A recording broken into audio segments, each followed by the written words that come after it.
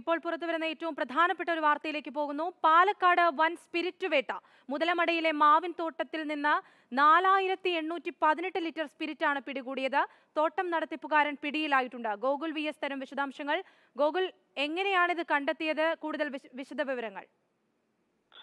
പാലക്കാടാണ് ഈ വൻ സ്പിരിറ്റ് വേട്ടയുണ്ടായത്. മുതലമട ചെമ്മാണം പതിയിലെ മാവിൻ തോപ്പിൽ ഒളിപ്പിച്ച നിലയിലായിരുന്നു നാലായിരത്തി എണ്ണൂറ്റി പതിനെട്ട് ലിറ്റർ സ്പിരിറ്റും കണ്ടെത്തിയത്. മാവിൻ തോപ്പിലെ മാനേജർ ആയിട്ടുള്ള സതീഷിനെ പോലീ എക്സൈസ് സംഘം അറസ്റ്റ് ചെയ്തിട്ടുണ്ട്. കൊല്ലങ്കോട് എക്സൈസ് സംഘമാണ് ഈ പരിശോധന നടത്തിയത്. ഇത്തരത്തിൽ അവിടെ സ്പിരിറ്റ് ഒളിപ്പിച്ചു വെച്ചിട്ടുണ്ട് എന്നുള്ള രഹസ്യ വിവരം എക്സൈസിനുണ്ടായിരുന്നു. അതിനെ തുടർന്നായിരുന്നു പരിശോധന. സതീഷും മുൻപ് സതീഷിനോടൊപ്പം തന്നെ മുൻപ് സ്പിരിറ്റ് കേസിൽ അറസ്റ്റിലായ പ്രവീൺ എന്നയാളും ചേർന്നാണ് ഈ മാവിന്റെ തോപ്പിൽ ഒരു കെട്ടിടമുണ്ട്. ആ കെട്ടിടത്തിലെ ഒരു കക്കൂസിലായിരുന്നു ഈ ഇത്തരത്തിൽ സ്പിരിറ്റ് ഒളിപ്പിച്ചത്. എക്സൈസ് സംഘം എത്തി പരിശോധന നടത്തിയതിലൂടെ സ്പിരിറ്റ് കണ്ടെത്തുകയായിരുന്നു.